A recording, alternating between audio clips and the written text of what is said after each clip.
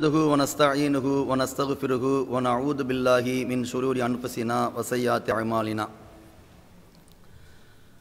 من يهده الله فلا مضل له ومن يضلل فلا هادي له وأشهد أن لا إله إلا الله وحده لا شريك له وأشهد أن محمدا عبده ورسوله أما بعد فقد قال الله تعالى في القرآن العظيم அவுது பில்லாஹி மின ஷைத்தான் ரஜீம் பிஸ்மில்லா ரஹ்மான் ரஹீம் கண்ணியமிக்க எல்லாமல்ல அல்லாஹின் நல்லடியார்களே பெரியோர்களே தாய்மார்களே. அல்லாஹுடைய அருள் நிறைந்த இந்த ரம்லான் மாதத்தில் தமிழ்நாடு தௌஹி ஜமாத் சார்பாக முகநூல் வாயிலாக நடத்தப்படுகின்ற இந்த நிகழ்ச்சியில் மன்னரை வாழ்க்கை இந்த உலக வாழ்க்கை விட்டு பிரிந்து மரணித்த பிறகு மனிதர்கள் சந்திக்கின்ற முதல் வாழ்க்கை மன்னரை வாழ்க்கை. அந்த மன்னரை வாழ்க்கை சம்பந்தமாக தொடர்ச்சியாக ஒரு சில செய்திகளை அல்லாஹும் அல்லாவுடைய தூதரும் சொன்ன அடிப்படையில் நாம் பார்த்து வருகிறோம். இறந்துவிட்ட மனிதர்களை நல்லவர்கள் கெட்டவர்கள் இவர் சொர்க்கவாதி இவர் நரகவாதி என்று அல்லாஹ் யாரை அல்லாஹுடைய தூதருக்கு அறிவித்து கொடுத்தானோ அவர்களை தவிர வேறு யாரையும் யாரும் சொல்வதற்கு அதிகாரம் இல்லை அப்படி யாரையும் இறந்து விட்டவர்களை இவருக்கு சொர்க்கம்தான் இவருக்கு நரகம்தான் என்பதை நாம் யாரையும் சொல்லவும் கூடாது. நபிகள் நாயகம் சல்லல்லா அலைசல்லம் அவர்கள் ஒரு சில சகாபாக்களை ஒரு சிலர்களை அல்லாஹுடைய தூதர் சொர்க்கவாதி என்று சொன்னார்கள். அது அல்லாஹ் அவர்களுக்கு அறிவித்து கொடுத்து அல்லாஹ் யாரை அறிவித்து கொடுத்தானோ அவர்களை மட்டும் அல்லாஹுடைய தூதர் சொல்வார்கள் அது இல்லாத மற்றவர்களை சொல்வதற்கு அல்லாஹுடைய தூதருக்கும் எனக்கு என்ன கிடையாது அதிகாரம் கிடையாது. அப்ப நபிகள் நாயம் சல்லல்லா அலிசல்லாம் அவர்கள் யாரையெல்லாம் சொர்க்கவாதி என்று சொன்னார்கள்? அவர்களை நாம் சொர்க்கவாதி என்று சொல்லலாம். அபுபக்கரை சொன்னார்கள் உமரை சொன்னார்கள் உஸ்மானை சொன்னார்கள் அலியை சொன்னார்கள் ரலி அல்லாஹ் அண்ணுகும் தல்காவை சொன்னார்கள் ஜுபேரை சொன்னார்கள் ரலி அல்லாஹ் இப்படி இப்படி அல்லாஹுடைய தூத ஒரு சில சகாபாக்களை பட்டியலிடுறாங்க. அதைத்தான் தொடர்ச்சியாக நபிகள் நாயகம் சொர்க்கவாதி என்று யாரையெல்லாம் சொன்னார்கள் என்ற அந்த செய்தியை தான் நாம் வரிசையாக பார்த்து கொண்டு பார்த்துக்கிட்டு இருக்கிறோம். இதில் ஒரு நாள் நபிகள் நாயகம் சல்லல்லாஹு அலையம் அவர்கள் சகாபாக்களோடு அமர்ந்திருக்கிறாங்க. நபிகள் நாயம் சொல்கின்றார்கள் இப்போது ஒரு மனிதர் வருவார். அந்த மனிதரை நல்லா பார்த்துக்கிடுங்க அவர் சொர்க்கவாதிங்கிறாங்க. அவருடைய பெயரெல்லாம் ரசுல்லா சொல்லலை. ஒரு மனுஷர் வருவார் ஹாதா மின் அகில் ஜன்னா ஹாதா ரஜுல் மின் அகில் ஜன்னா அவர் சொர்க்கவாதி. அப்போ சகாபாக்கள்கிட்ட அவரை எதிர்பார்க்குற அந்த ஆர்வம் ஆயிடுச்சு. ஏன்னா ரசூலுல்லா சொன்னது சாதாரண விஷயம் இல்லையே. இந்த உலகத்தை விட்டு மரணித்து சொகுசான வாழ்க்கையை பெறுகின்ற சந்தோஷமான வாழ்க்கையை பெறுகின்ற ஒரு மனிதர். மறுமையில் தான் ரிசல்ட் தெரியும். அது என்ன ரிசல்ட்டும் தெரியாது. ஆனால் அது சொர்க்கம் என்ற அந்த ரிசல்ட்டு உலகத்திலே கிடைக்குன்னா அல்லாஹு அக்பர். சுபஹான் அல்லா எவ்வளோ பெரிய பாக்கியம். அப்படிப்பட்ட அந்த மனிதர் வருவாரா? யார் நம்ம யாருன்னு பார்க்கணுமே. அப்படின்னு சகாபாக்களுக்கெல்லாம் ஆர்வமாயிடுச்சு. கொஞ்ச நேரத்தில் ரசூலுல்லா சொன்ன மாதிரி ஒரு மனுஷர் வர்றார். வந்து அவர் ஒலி செய்கிறார். காலில் கிடக்கிற காலணிகளை கையில் எடுத்துக்கிறார். பள்ளிவாசலில் ஓரமாக வைத்து விட்டு அவருடைய தாடிகள் எல்லாம் நனைஞ்சி தண்ணீர் சொட்டு விடுகின்ற அளவுக்கு உள்ளே வர்றார். உள்ளே வந்து ரெண்டு ரக்கா தொழுதுட்டு போகிறார் இருக்கிற சகாபாக்கள்லாம் அவர் அப்படியே ஏறிட்டு பார்க்குறாங்க இது முதல் நாள் நடக்கின்றது. மறுநாள் அதே மாதிரி நபிகள் நாயகத்துடைய சபையில் சகாபாக்கள் இருக்கிறாங்க. அல்லாஹுடைய தூதர் நேற்று சொன்ன மாதிரி சொல்கிறாங்க இப்போ ஒரு மனிதர் வருவார் அவர் சுருக்கவாதிங்கிறாங்க. இப்போ சகாபாக்கள் பார்க்குறாங்க வேறு யாராவது வருவாரோ? இல்லை அவர் தானா அப்படின்னு ரொம்ப கவனிப்பாக கவனிக்கும் போது அதே மனிதர் நேற்று ரசூலுல்லா யாரை சொன்னார்களோ அவர் தான் வர்றார். அதே மாதிரி வந்து ஒழிச்சுகின்றார் அவருடைய தாடிகள் எல்லாம் அப்படியே தண்ணீர் சொட்டுகின்ற சொட்டுப்படுகின்ற வேலை சொட்டுப்படுகின்ற நிலையில் காலணிகளை கையில் எடுத்து ஒரு ஓரமாக வைத்து விட்டு ரெண்டு ரக்கா தொழுதுட்டு போறார். எல்லாரும் அவரே அப்படி கவனித்து பார்க்குறாங்க. இது ரெண்டாவது நாளுங்க. மூன்றாவது நாள் இதே மாதிரி சபையில் சகாபாக்களுடைய சபையில் ரசூல்லா அமைந்திருக்கிற வேளையில் நபிகள் நாயும் இதே வார்த்தையை பயன்படுத்துகிறாங்க ஒரு மனிதர் வருவார் அவர் சொர்க்கவாதின் மூன்றாவது நாளும் அதே மனிதர் வர வேற வேற ஒருத்தர் இல்லை அதே தான் அவரே தான். ஒருத்தரை தான் திரும்ப திரும்ப மூன்று நாளும் ரசூல்லா சொல்கிறாங்க மூன்றாவது நாளும் அவர் வந்தவர் ஒழு செய்து விட்டு தொழுது விட்டு அதே மாதிரி தண்ணீர் அந்த ஒழு செய்கின்ற அந்த தன்மை அவருடைய அந்த அந்த தண்ணீர் படுகின்ற காட்சிகள்லாம் ஹதீஸில் வருது. அவருடைய தாளிலிருந்து அப்படியே தண்ணீர் சொட்டுப்படுகின்றது செருப்பை ஓரமாக வைத்து விட்டு தொழுது விட்டு வெளியே செல்கின்றார். அப்போ இதை கவனிக்கிற சகாபாக்கள் ஒரு சகாபி அப்துல்லா ரலி அல்லாஹ் என்ற ஒரு நபித்தோழர் அந்த சஹாபிக்கு பின்னாலேயே போகிறாங்க விறுவிறுவிறுன்னு குடு குடுன்னு போய் அவரை நிறுத்தி வாங்க. வீட்டில் எனக்கும் ஆப்பாக்கும் ஒரு சின்ன தகராறு. நான் வீட்டுக்கு வரமாட்டேன்னு சொல்லிட்டேன் அவர்கிட்ட ஒரு மூணு நாளைக்கு. அதனால் நான் வீட்டுக்கு போக முடியாது. ஒரு மூணு நாள் நான் உங்களோடு தங்கிக் கொள்ளலாமான்னு கேட்குறாரு. எதுக்கு தெரியுமா? நபிகள் நாயகம் இவரை சொர்க்கவாதி என்று சொன்னார்கள். இவர் அப்படி என்ன சொர்க்கத்துக்குரிய காரியத்தை செய்கின்றார்? இவற்றை கேட்டாது போதாது. இவரோடு இருந்து இவர் செய்கின்ற அந்த நல்ல காரியத்தெல்லாம் பட்டியல் போட்டு நம்மளும் அதை செய்யணும். நம்மளும் அந்த மாதிரி சொர்க்க சொர்க்கத்துக்குரிய ஒரு நபராக இவர் செஞ்ச நல்ல காரியத்தை செஞ்சு நம்ம ஆயிரணும் அப்படிங்கிற ஒரு ஆர்வத்தில். சத்திய சகாபாக்களுக்கு மறுமையினுடைய ஆர்வத்தை பற்றியலாம் இவர் சொர்க்கவாதி என்று தெரிஞ்ச பிறகு அதே போன்று சொர்க்கவாதியாக நாம் ஆகணுங்கிற ஆர்வம். உலகத்தில் நம்ம ஆர்வம் காட்டுவோம். அவன் வீடை கட்டிட்டான் அவன் நிலத்தை வாங்கிட்டான். அவன் வெளிநாட்டில் போய் ஒரு லட்ச ரூபா சம்பாதிச்சிட்டான். அவன் நேற்று இப்படி இருந்தான் இன்னைக்கு இப்படி இருக்கிறான் அப்படின்னு உலகத்தில் தான் போட்டி போடுவோம். உலகத்தில் அவனை விட ரெண்டு வீடு அதிகமாக நம்ம கட்டணுமே. இடங்களை வாங்கணுமே பொருளாதாரத்தை சேர்க்கணுமே செல்வத்தை சேர்க்கணுமே. அப்படிங்கிறத போட்டி நமக்கு இருக்கும் சத்திய சகாபாக்களுக்குள்ள ஆர்வத்தை பாருங்கள். மூன்று நாள் நான் உங்களோடு தங்குகின்றேன். எனக்கு அனுமதி கொடுங்க. நோக்கம் என்ன காரணம் என்ன?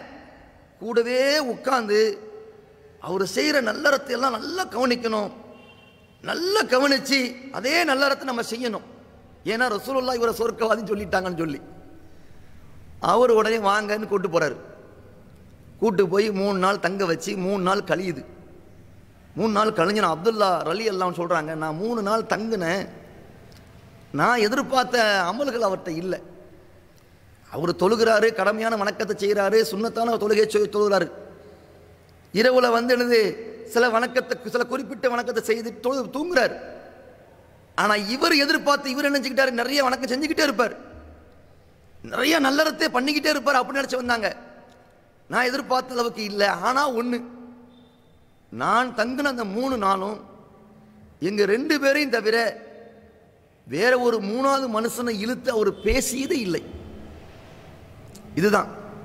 நான் தங்கின மூணு நாளும் என்னை பற்றி அவர் பேசுவார் அவரை பற்றி நான் பேசுகிறேன் நின்று எங்கள் ரெண்டு பேரும் இல்லாத மற்ற மூணாவது நபரை அவர் இழுத்து என்ன செய்யலை? பேசுனதே இல்லை. இது ரொம்ப முக்கியம் தானேங்க. நம்மளை யாராவது ரெண்டு பேர் கூட்டிட்டு வைங்க. நம்மளை பற்றி பேச்சே இருக்காது. நம்மகிட்ட அந்த பண்பு. அவன் அப்படி இவன் இப்படி. அது இந்த பார்க்கணும். ஆண்கள்கிட்ட ஒரு இருபது சதம்னா பெண்கள்கிட்ட வந்து எண்பது சதம் இருக்கும். ரெண்டு பேர் கூடிட்டாலேயே மூணாவது நபர் நாலாவது நபர் அஞ்சாவது நபர் தன் பக்கத்தில் இல்லாத இன்னொரு நபரை பற்றி தான் பேசுவோம். அது என்னாகும்? பொய்கள் வதந்திகள் புறம் இட்டுக்கட்டு அவதூறு இப்படி நிறைய இன்னொரு மனிதனுடைய மானத்தையும் மரியாதையும் கெடுக்குகின்ற வகையில் இன்னைக்கு நம்முடைய பேச்சுக்கு நம்ம ரெண்டு பேர் கூடிட்டா மூணு பேர் கூடிட்டா இப்படித்தான் இருக்கும். வணக்கத்தை அழிக்கின்ற காரியம் நம்ம செய்கின்ற நன்மைகளை மறுமைக்காக நம்ம சேர்த்த நல்லறத்தை நம்ம என்ன எப்போது நல்லறம் செய்யணுமா? நம்மகிட்ட நல்லறம் ரொம்ப குறைவு. அந்த குறைவான நல்லறத்தை கூட கூடியிருக்கிற ரெண்டு பேருக்கு மத்தியில் நம்ம யாரோட ரெண்டு பேரும் சேர்ந்துட்டோம்னா மூணாவது மனுஷனை நாலாவது மனுஷனை இழுத்து அந்த நல்லறத்தை அழித்து நாம் செஞ்ச நல்லறத்தை இன்னொருத்தருக்கு கொடுக்கிற நிலை தான் வருகின்றது. இங்கே பாருங்க. இந்த சகாபி சொல்கிறாங்க நான் அவர்கிட்ட தங்கின மூணு நாளும் பிற மனிதரை பற்றி அவர் பேசியதில்லை. அப்படி பேசினால் நல்லதை பேசுவார். இது ரொம்ப முக்கியங்க. பேசவே கூடாது கிடையாது. பிற மனிதரை பேசலாம். ஆனால் பேசினா நன்மையை பேசணும். அவர்கிட்ட உள்ள நல்லதை சொல்லு. தீமையை சொல்லாத. இல்லாத பொல்லாத இல்லாத பொல்லாத புரட்டுகளை வதந்திகளை அவதூறுகளை பொய்களை கலக்காத. நல்லதை சொல்லு. இவர் பாருங்க. அப்துல்லார் அலி சொல்றாங்க பிறரை பற்றி பேசல. அப்படியே பேசினாலும் நல்லதை பேசுவார். மூணாவது நாள் கழிக்குது. நான் அவர்கிட்ட விடை பெறும்போது இங்கே வாங்க. நான் என் வீட்டில் வாப்பாட்ட சண்டைலாம் கிடையாது. நான் மூணு நாள் வரமாட்டேன்னு சொன்னதெல்லாம் நான் ஒரு சும்மா ஒரு பொய்க்கு தான் சொன்னேன். நபிகள் நாயம் இப்படி சொன்னாங்க. உங்களை சொர்க்க வதன்னு சொன்னாங்க. நான் உங்களோடு அப்படி தங்கியிருந்து அந்த நல்லறத்தை எல்லாம் அந்த நன்மையெல்லாம் கணக்கு போட தான் வந்தேன். ஆனால் நான் எதிர்பார்த்த நன்மையெல்லாம் உங்கள்கிட்ட இல்லையேங்க. அதையும் சொல்கிறாங்க நான் எதிர்பார்த்த நன்மையெல்லாம் உங்கள்கிட்ட அப்படி ஒன்றும் இல்லையே. அப்படின்னு சொல்லிட்டு விடை பெறுகின்றார்கள் உடனே அந்த மனிதர் அப்துல்லா அலி அல்லாஹன் அவங்கள மறுபடியும் கூப்பிட்டு அல்லாஹுடைய தூதரவர்கள் என்னை சொர்க்கவாதி என்று சொன்னார் என்று சொன்னால் என்ன காரணத்துக்கு சொன்னாருன்னு எனக்கு தெரியாது. ஆனால் இரண்டு விஷயத்தை மட்டும் நான் ஃபாலோ பண்ணுறேன் என்ன தெரியுமா? முஸ்லிமான மனிதர்களை பற்றி என் உள்ளத்தில் தவறாக இதுவரையும் எண்ணியது கூட கிடையாது. பேசுறது ரெண்டாவது. ஒரு முஸ்லீமான ஒரு மனிதர்கிட்ட மனிதரை பற்றி தவறாக நான் எண்ணியது கூட கிடையாது. இது ரொம்ப முக்கியம் தானே ஒருத்தரை பற்றி தப்பா என்றது தான் வாயில வரும். எண்ணமே இல்லாட்ட அவரை பற்றி தப்பான வார்த்தை வாயில வருமா? அப்ப சொல்கிறாரு சொல்றாரு பிறர் முஸ்லீமை பற்றி. எந்த முஸ்லீமை பற்றியும் நான் தவறாக கூட என் உள்ளத்தில் எண்ணியது கூட கிடையாது. அதே மாதிரி அல்லாஹூ ஜல்ல ஷானவுத்தாலா என்னை விட யாருக்கெல்லாம் உயர்வை கொடுத்துருக்கிறானோ அந்த உயர்வை பார்த்து நான் போராமைப்பட்டது இல்லை. அல்லாவுடைய நாட்டம் அல்லாஹ் அவருக்கு கொடுத்துருக்கிறான் எனக்கு தரல. அல்லாஹ்வுடைய நாட்டம் இது எனக்கு குறைவு அவருக்கு நிறைவு எனக்கு நிறைவு அவருக்கு குறைவு. என்னை விட உயர்வாக அல்லாஹ் யாரெல்லாம் வச்சிருக்கிறானோ அந்த சில பதவியில் பொருளாதாரத்தில் இப்படி உயர்வு யாருக்கெல்லாம் கொடுத்துருக்கிறானோ அதை பற்றி அதை பார்த்து நான் போராமைப்பட்டதே இல்லை. இந்த ரெண்டு விஷயத்தை நான் என் வாழ்க்கையில் ஃபாலோ பண்ணுறேங்க ஆனால் நபிகள் நாயகம் சல்லல்லா சொர்க்கவாதினி எதுக்கு சொன்னாங்கிறது எனக்கு தெரியாது அப்படிங்கிற செய்தியை சொல்லி முடிக்கிறாங்க. கண்ணியமிக்க அல்லாஹ் நல்லடியார்களே அப்போ அல்லாஹுடைய தூதவர்கள் இப்படி இந்த மனிதரை ரசூலுல்லாய் சல்லல்லாஹ் அவர்கள் சொர்க்கவாதி என்று சொன்னார்கள். அப்போ இதை கேட்குற நமக்கு என்ன படிப்பினை என்ன பாடம்? குறிப்பாக பிறரை பற்றி இந்த உலகத்தை விட்டு பிரிந்து மன்னரை வாழ்க்கை சந்திக்கின்ற நாம் மன்னரை வாழ்க்கையுடைய நெருக்கடியை பயப்படுகின்ற நாம் மன்னரை தண்டனிலிருந்து அல்லாட்ட பாதுகாப்பு விரும்புகின்ற நாம் அந்த தண்டனைக்குரிய காரியத்தை நம்ம செய்யாமல் இருக்கணும். குறிப்பா பிறருடைய மானத்தில் மரியாதை மரியாதையில் நம்ம விளையாடாமல் இருக்கணும். அல்லாவுடைய தூதர்கள் மரணத்துடைய நெருக்கத்தில் இருக்கிறவங்க என்ன இருக்கிறவங்க என்ன செய்யணும்னு சொன்னாங்க? மரணத்துடைய நெருக்கத்தில் இருக்கிறவங்க நீங்க முதல்ல என்ன செய்யணும்? உங்களால் யாராவது பாதிக்கப்பட்டிருந்தால் உங்க கையால உங்க நாக்கால அல்லது வேற ஏதாவது ஏதாவது அடிப்படையில் உங்களால் யாராவது பாதிக்கப்பட்டிருந்தா நீங்க முதல்ல அதுக்கு பரிகாரம் தேடுங்கன்னாங்க. அதுக்கு போய் சமரசம் செய்து அதுக்கு மன்னிப்பு கேட்டுருங்க. அதுக்கு பரிகாரம் தேடுங்க. இது ரொம்ப முக்கியம். நீங்க செஞ்ச அமலை பாதுகாக்கிற மிகப்பெரிய காரியம். நீங்க செய்யாத தவறுக்கு தண்டனையை வாங்காமல் இருப்பதுக்கு இதான் அடிப்படை. நீங்க தொழுத தொழுகைக்கு நீங்க வச்ச நோன்புக்கு நீங்க செஞ்ச ஹஜ்ஜிக்கு நீங்க கொடுத்த தர்மத்துக்கு நீங்கள் ஓதிய குர்ஆனுக்கு நீங்க கூலி வாங்கணும்னா இது ரொம்ப முக்கியம். எவனோ செஞ்ச விபச்சாரத்துக்கு எவனோ வாங்கிய வட்டிக்கு எவனோ பேசிய பொய்யுக்கு தண்டனையை நீங்கள் பெறாமல் இருக்கணுமானாலும் இது ரொம்ப முக்கியம். உங்களால் பாதிக்கப்பட்ட யாராக இருந்தாலும் பரிகாரம் தேடுங்க என்று ரசூல்லா சொன்னாங்களே அந்த காரியத்தை அவர் வாழ்க்கையில் கடைப்பிடிக்கார். வாழ்க்கையில் எப்போதுமே கடைப்பிடிக்கார். அது போக அல்லாஹ் யாருக்கெல்லாம் செல்வத்தையே உயர்வை தன்னை விட அல்லாஹ் யாரை வந்து எல்லா வகையிலும் உயர்வாக வச்சிருக்கிறானோ அல்லாஹ் நாட்டம். அல்லாஹ் கொடுத்துருக்கான் அவருக்கு அப்படின்னு போகணுமா போராமை கொள்ளக்கூடாது ஏன்? போராமை என்பதுதான் மனிதனுக்கு பேராசையை உருவாக்கும். பேராசை என்பதுதான் மனிதனை ஹலால் ஹராம் பார்க்காமல் தடமாறச் செய்யும். எவன் உலகத்தில் ஹராம் ஹலாம் பார்க்காமல் வாழ்க்கையில் தடமாறி செல்கின்றானோ அவன் நரகத்தின் பக்கம் தான் செல்வான். அப்போ அது ரொம்ப முக்கியம் தானே? அப்படிப்பட்ட அந்த ஒரு போராமை இல்லாத ஒரு குணத்தோடு அவர் இருக்குகின்ற அந்த தன்மை அவரை சொருக்கவாதியாக சொருக்கவாதி என்று பெயர் சொல்கின்ற அளவுக்கு அவரை ஆக்கி இருக்கின்றது என்பதைத்தான் நம்ம இந்த சம்பவத்தில் படிப்பணியாக பாடமாக எடுத்துக்கொள்ள வேண்டும். அதே மாதிரி நபிகள் பெருமகனார் சல்லல்லா அலிஸ்லாம் அவர்கள் ஃபஜ்ரு தொழுது விட்டு பிலால் ரலி அல்லா அணுகு அமர்ந்திருக்கிறாங்க. அவங்ககிட்ட கேட்குறாங்க பிலாலே நீ இஸ்லாத்துக்கு வந்த நாளில் இருந்து அப்படி என்னப்பா நல்ல அமல் செய்கிற சமயத்தோ தஃப நகைலைக்க சமயத்தோ தஃப நகைலைக்க நீ சொர்க்கத்தில் நடந்து நடந்து செல்கின்ற செருப்போசையை நான் கேட்குகின்றேன். சொர்க்கத்தில் நீ நடந்து செல்கின்ற அந்த செருப்போசையை நான் கேட்குகின்றேன். இஸ்லாத்துக்கு வந்ததிலிருந்து அப்படி என்ன நல்லறம் செய்கிற? என்று நபிகள் பெருமகனார் சல்லல்லா அலையம் அவர்கள் பிலால் ரலி அல்லாஹ் அணுகு அவங்ககிட்ட கேட்குறாங்க. சொர்க்கத்தில் நடக்கிற காட்சி அல்லா ரசூல்லாவை காட்டுறான். பிலால் ரலி சொர்க்கத்துக்குரியவர். இந்த உலகத்தை விட்டு இறந்து போகின்ற பிலால் அலிக்கு மறுமையில் வெற்றிதான். நரகத்துடைய பாதுகாப்பு தான் அப்படிங்கிற செய்தியை அப்படிங்கிற ரிசல்ட்டை அல்லாஹ்வுடைய தூதர் சல்லல்லா அலிஸ்லாம் அவர்கள் அந்த பிலால்கிட்ட சொல்கிறாங்க அப்போ பிலால் அலி சொல்கிறாங்க யார சொல்லல்லா நான் இஸ்லாத்துக்கு வந்த நாள்ல இருந்து பகலிலோ இரவிலோ எப்போதும் ஒழு செய்கின்ற பழக்கம் உண்டு. அவங்களுக்கு ஒரு பழக்கம் என்ன? எப்போதும் ஒழுவோடு இருக்கிறது. ஒழுவோடு இருக்கிறது மிகப்பெரிய நன்மை தானே. ஒழு செய்கிறது மிகப்பெரிய ஒரு அமல். அதனுடைய அந்த விரிவுகள் அதனுடைய விளக்கங்கள் வேற. அப்போ அவங்க சொல்கிறாங்க இரவிலோ பகலிலோ நான் எப்போதுமே என்ன செய்வேன்? ஒழுவோடு இருக்கிற பழக்கம் அதோடு சேர்த்து எப்போ ஒழு செஞ்சாலும் சரி இல்லா சொல்லைத்து தாளிக்க துகூரி மா குத்திபலி அன்பு சல்லிய. நான் எப்போ ஒழு செஞ்சாலும் அந்த ஒழுவுக்குண்டான காணிக்கையான ஏதாவது ரக்காத்துகளை தொழுகாமல் இருக்க மாட்டேன். அவருடைய பழக்கம் என்ன? ஒழுவோடு இருப்பது. ஒழு செய்யும் போதெல்லாம் ரெண்டு ரக்காத்தோ நாலு ரக்காத்தோ ஆறு ரக்காத்தோ குறைஞ்சது ரெண்டு ரக்காத். அந்த ஒழுவுக்குண்டான ரக்காத்துகளை இரண்டு ரக்காத்தாவது நான் செய்ய மாட்டேன்? தொழாமல் இருக்க மாட்டேன் தொழுதுருவேன்.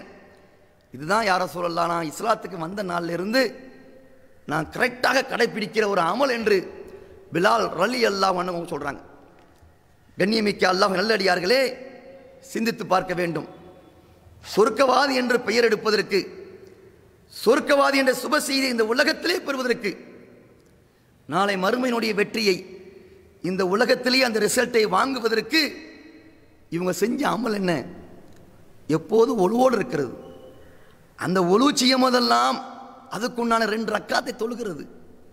இதே காரியத்தை இதே நல்லறத்தை இதே அமல்களை பேசுகிற நான் கேட்குகின்ற நீங்கள் இந்த நிமிஷத்திலிருந்து இந்த நேரத்திலிருந்து நம்ம இதை கடைபிடிக்கின்ற மக்களாக இருந்தால் பிலால் ரலிக்கு எந்த ரிசல்ட் கிடைச்சதோ மறுமையில் சொர்க்கவாதி என்று அந்த ரிசல்ட்டை நாளை மறுமையில் நாம் இறந்த பிறகு அல்லாஹ் நமக்கு தரமாட்டானா?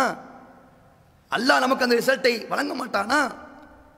அப்போ சிந்திக்க வேண்டும். அதே மாதிரி இந்த ரெண்டு ரெக்காத் தொழுவாங்க தொழுகிற இந்த பழக்கம் இருக்குதே. இந்த அதிகமாக இந்த தொழுகின்ற இந்த அதாவது எப்போதுமே ஒழு செய்கின்ற பழக்கம் ஒழுவுக்குன்னு ரெண்டு ரக்கா தொழுகின்ற பழக்கம்.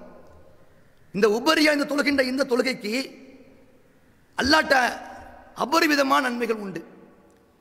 நபிகள் பெருமகனார் சல்லல்லாஹு அலைஹி செல்லம் அவங்களுடைய காலத்தில் உக்குபாபின் ஆமீர் ரலி எல்லாம் அணுகு அவங்க சொல்கிறாங்க நாங்கள் வந்து வளமை வைத்து குதிரை மேய்க்கக்கூடியதாக இருந்தோம். வளமை வச்சு குதிரை மேய்க்கின்றோம். ஒரு நாள் மாலை நேரத்தில் என்னுடைய வளமையில் நான் குதிரை மேய்த்து விட்டு வருகின்றேன். அப்போ அல்லாஹ்வுடைய தூதவர்கள் சகாபாக்களுக்கு மத்தியில் உரையாட்டிக்கிட்டு இருக்காங்க. சகாபாக்களுக்கு மத்தியில் ரசுல்லா பேசிக்கிட்டு இருக்காங்க பயான் பண்ணிக்கிட்டு இருக்காங்க. நான் அப்படியே குதிரையை மேய்த்து விட்டு ரசுல்லாவுடைய பக்கத்தில் வரும்போது நபிகள் நாயன் சொல்கின்றார்கள் மாமின் முஸ்லிமின் எத்த வல்லூ ஃபயுஹசினு உலு அகு எந்த ஒரு முஸ்லீம் அழகிய முறையில் உழு செய்து உழு செய்கின்றார் அந்த உழுவை அழகிய முறையில். நபிகள் நாயகம் சொன்ன மாதிரி ரசூலுல்லா எப்படி ஒழு செய்ய சொன்னாங்களோ எந்த நம்பரில் சொன்ன சொன்னாங்களோ எந்த எண்ணிக்கையில் சொன்ன சொல்ல செய்ய சொன்னார்களோ அதே எண்ணிக்கையில் அதே அடிப்படையில் அழகிய முறையில் எவர் ஒளி செய்கின்றாரோ ஒழு செய்துவிட்டு உள்ளத்தை ஓர்மைப்படுத்தி அந்த இறையச்சத்தோடு இறை பயத்தோடு உள்ளத்தையும் அகத்தையும் முகத்தையும் ஓர்மைப்படுத்தி ரெண்டு ரக்காத்து எவர் தொழுகின்றாரோ? அவருக்கு அல்லாஹ் இல்லா வஜபத் அவள் ஜன்னா அல்லாஹ் அவருக்கு சொர்க்கத்தை கட்டாயமாக்கி விட்டான்.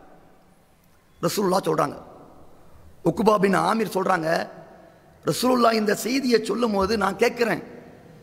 இதை கேட்டுட்டு நான் என்ன செய்கிறேன் ஆகா எவ்வளோ அருமையான வார்த்தை. எவ்வளோ சூப்பரான வார்த்தை. கரெக்ட் சரியாக ஒழிச்சு இது. உள்ளத்தை ஓர்மைப்படுத்தி அல்லாகவே ரெண்டு ரக்கா தொழுதம்னா அதுக்கு சொர்க்கத்தை தவிர வேறு எதுவும் இல்லைங்கிறாங்களே. எவ்வளோ பெரிய அழகு அருமையான வார்த்தை. அற்புதமான போதனை. அப்படின்னு நான் சொல்கிறேன் நான் சொன்னதை கேட்டுட்டு அந்த இடத்துல உமர் பின் ஹத்தாப் இருக்கிறாங்க. அவங்க சொல்கிறாங்க இதை விட அருமையான வார்த்தை இதுக்கு முன்னால் சொன்னாங்க அப்படிங்கிறாங்க. இது அருமையான வார்த்தை தான். அழகான வார்த்தை தான். ஆனால் இந்த அழகான வார்த்தையை விட நீங்கள் வர்றதுக்கு கொஞ்ச நேரத்துக்கு முன்னால் நபிகள் நாயகம் சொன்னார்கள். அப்போ உக்குபா உக்குபா பின்- உக்குபா பின் ஆமீர் ரலி எல்லாம் ஒன்று கேட்குறாங்க உமர்கிட்ட அப்படி என்னங்க இதை விட ஒரு அருமையான வார்த்தை? எனக்கு சொல்லுங்க அப்படின்னு உக்குபா பின் ஆமீர் கேட்கின்றார்கள். அப்போ அந்த இடத்துல உமர் பின் ஹத்தாப் ரலி எல்லாம் சொல்லுகின்றார்கள் நபிகள் நாயம் சொன்னார்கள் எவர் ஒருவர் ஒழு செய்துவிட்டு அந்த ஒழுவுக்கு பிறகு அஷ்ஹது அல்லா இலாஹா இல்லல்லா வஹதகு லா ஷரீக்கலா வஷ்ஹது அன்ன முஹம்மதன் அப்துகு வரசூலுகு என்னை மாறி ஒளி செய்யுது இந்த ஒழுவில் ரொம்ப கவனிக்கணும். எப்படின்னா நிறைய பேர்கள் ஒழுவு செய்யும் போது ஏதோ கையை கழுவுறோம் முகத்தை கழுவுறோம் ஏதோ காலை நினைக்கிறாங்க. இல்லை அது ஒரு உன்னதமான அமல். அல்லாஹுடைய தூதர் சொன்ன அடிப்படையில் இருக்கணும். ரசூல்லா சொன்னாங்கல்ல நபிகள் நாயத்துடைய ஒழுவை விவரிக்கும் போதே வரும்போதே ஹதீஸில் எப்படி வருதுன்னா நபிகள் நாயம் ஒழு செய்வதற்கு முன்பு பல் துலக்குவார்கள் ஒழு செய்வார்கள். பல் துலக்குவார்கள் ஒழு செய்வார்கள்.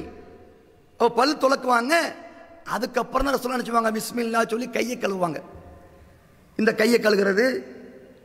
அடுத்து வாயையும் மூக்கையும் சேர்த்து அலசுவார்கள். வாய் தனி மூக்கு தனி கிடையாது. நம்மளை நிறைய பேர் தவறு பண்ணுறோம் வாயை தனியாக கொப்பளிக்கிறது மூக்கை தனியாக அணைச்சிறது அலசுறது கிடையாது. ஒரே டைம் ஒரே சேம். நபிகள் நாயும் வாயும் மூக்கையும் அணைச்சுவாங்க அலசுவார்கள். முகம் கழுவார்கள். வலது கை இடது கை. தலைக்கு மசுகு வலது கால் இடது கால். இது எல்லாமே எண்ணிக்கையில் ரொம்ப கவனமாக இருக்கணும். ஒரு தடவை அல்லது ரெண்டு தடவை அல்லது மூணு தடவை.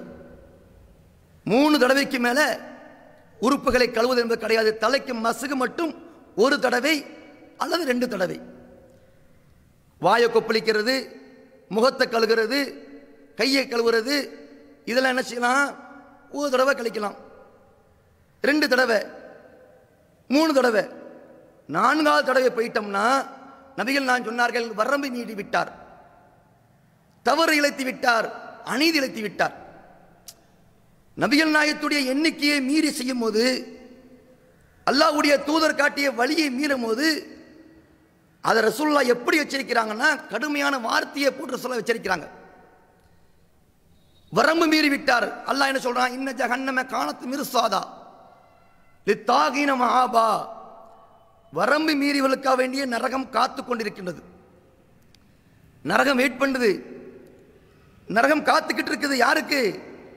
உலகத்தில் யாரெல்லாம் வரம்பு மீறுறாங்களோ அல்லாஹ் ஒரு கட்டளையை போட்டிருக்க அல்லாஹ் ஒரு எல்லையை விதித்திருக்கிற அல்லாஹ்வுடைய தூதர் ஒரு வழிகாட்டியிருக்க அதில் போய் எவர் வரம்பு மீறாரோ இவர்களுக்குத்தான் நரகம் காத்து கொண்டு இருக்கின்றது என்று அல்லாஹு ஜல்ல ஷானகுத்தாலா திருக்குறான சொல்கிறானே அப்படிப்பட்ட வார்த்தையை ரசுல்லா பயன்படுத்துகிறாங்க ஒரு தடவை கழுவிக்க மூணு தடவை ரெண்டு தடவை கழுவிக்க. இல்லை ரெண்டு போதாது. எனக்கு இன்னும் கழுகணும் முகத்தை அப்படின்னா மூணு டைம் மூணு த்ரீ டைம் மூணு ட்ரிப்பு கழுவிக்க. நாலா ட்ரிப்புக்கு போகாத. அப்படி போனால் வறுமை மீறி விட்டாய் தவறு செய்து விட்டாய் அநீதி இழைத்து விட்டாய். தலைக்கு மசகு மட்டும் ஒரு ட்ரிப்பு அல்லது ரெண்டு ட்ரிப் ஒரு தடவை இல்லை ரெண்டு தடவை அவ்வளோதான் அங்கே மூணாவது தடவை என்பது கிடையாது. அப்போ இந்த மாதிரி ரசூலுல்லா சொன்ன மாதிரி ஆரம்பிக்கும் போது மிஸ்மில்லா இடையில எந்த ஒரு ஓதுவதும் கிடையாது. சில நபர் என்ன பண்ணுவாங்க? உழு செய்கின்ற இடையிலேயே பல ஹவுல வலா குவத்தை இல்லா பில்லாஹில் அலீல் அலீம். அஷகத் அல்லா இல்லாஹா இல்லல்லா வாஷ் இப்படி ஒளி செய்யும் போது இடையில சொல்வார்கள். இந்த மாதிரி ஒளி செய்யும் போது இடையில சொல்கின்ற எந்த ஒரு வார்த்தையும் கிடையாது. பிஸ்மில்லா ஃபஸ்ட்டு முடிக்கும் போது அஷ்ஹது அல்லா இல் இல்லல்லாஹு அஷ்ஹது அன்ன முகம்மதன் அப்துகு வரசூலுகு அல்லது அஷ்ஹது அல்லா இல் இல்லல்லாஹு வஹைதகு லா ஷரீக கலகு வ அஷ்ஹது அன்ன முஹம்மதன் அப்துகு வரசூலுகு இப்படி இந்த துவாவை எவர் ஓதுகின்றாரோ அந்த இடத்துல உமர்ல சொல்கிறாங்க அல்லாவுடைய தூதர் சொன்னார்கள் இல்லா ஃபுத்திஹத் லகு அபுவாபுல் ஜன்னத்தி சமானியா. நாளை மறுமையில் அல்லாஹ் சொர்க்கத்தில் எட்டு வாசல்களை திறக்கின்றான். ஒழுவு செய்துவிட்டு ஒழுவுக்குண்டான துவாவை ஓதனம்னா முக்கியமாக என்ன கவனிக்கணும்னா நபிகள் நாயகம் எப்படி ஒழு செஞ்சார்களோ அல்லாஹ்வுடைய தூதர் ஒழு செய்வதை எப்படி கற்றுக் கொடுத்தார்களோ அதே அடிப்படையில் ஒழு செய்துவிட்டு இந்த துவா ஓதுனா அவருக்காக நாளை மறுமையில் இல்லா ஃபுத்திஹத்துல்லாஹு அபுவாபுல் ஜன்னத்து சமானியா. சொர்க்கத்தில் எட்டு வாசல்கள் திறக்கப்படும். அந்த எட்டு வாசல்ல அவர் விரும்பிய வாசல் வழியாக நாளை மறுமையில் அவர் சொர்க்கத்துக்குள் செல்லலாம். என்று உமர் பின் ஹத்தாப் அலி அவர்கள் அல்லாஹ்வுடைய தூதரவர்கள் நீங்கள் வருவதற்கு முன்னால இந்த வார்த்தையை இதை விட அழகான வார்த்தையை ரசூலுல்லா சொன்னார்கள் என்ற செய்தியை சொல்கிறாங்க கண்ணியமிக்க அல்லாஹ் நல்லடியார்களே எவ்வளோ பெரிய பாக்கியம் பாருங்க. இந்த ரமணான் மாதத்தில் நோன்பு வைக்கிறோம். நோன்பாளிகளுக்கு எத்தனை வாசல்? ரையான் என்ற வாசல். நபியெல்லாம் சொன்னாங்க இல்லையா? நாளை மறுமையில் நோன்பாளிகள் ரையான் என்ற வாசல் வழியாக செல்வார்கள். ஆனால் அந்த எட்டு வாசல்ல ரையான் என்ற வாசலும் உண்டு. சொர்க்கத்தில் உள்ள எட்டு வாசல்களில் ரையான் என்ற வாசல் உண்டு.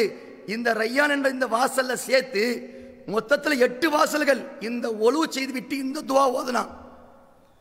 எட்டு வாசல் திறக்கப்படும். விரும்பிய வாசல் வழியாக நீங்கள் செல்லலாம்.